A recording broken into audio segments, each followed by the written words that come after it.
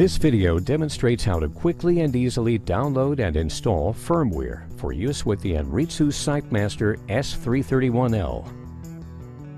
Before you get started, you will need a personal computer with internet connection, a properly formatted USB memory stick, and your Anritsu SiteMaster S331L powered with the AC adapter.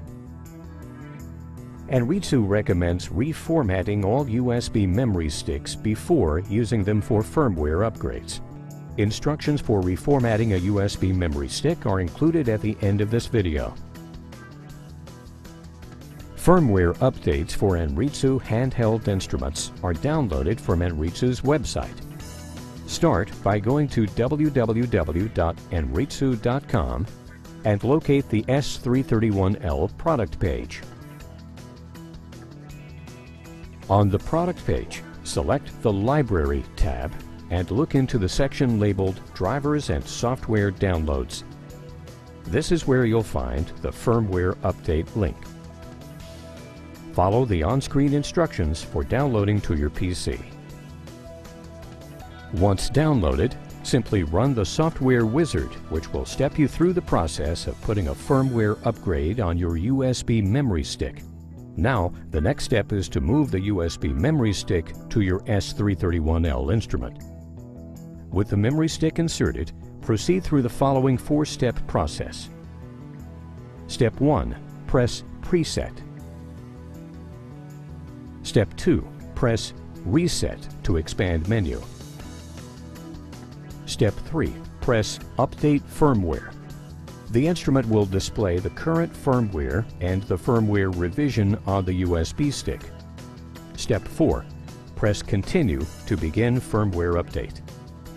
The device will automatically power down when the firmware upgrade is complete. The actual firmware installation will take several minutes. That's it. Your firmware update is complete.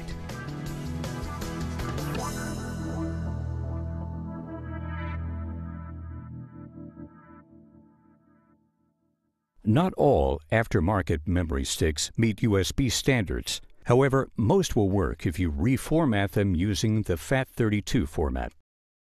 Here's how to format a USB memory stick in Windows XP. Step 1. Insert a blank USB memory stick in your PC. It's important to note that formatting will remove all data from the USB memory stick, so please make sure that any critical data is backed up before formatting. Step 2. Browse to the location of the USB memory stick. Step 3. Right-click on the memory stick's drive letter and select Format. Step 4. When the Format window appears, select FAT32 and make sure Quick Format is not selected. Step 5. Select Start and then OK. Your USB memory stick is now reformatted and ready for you to download firmware upgrade software. Please return to the start of this video.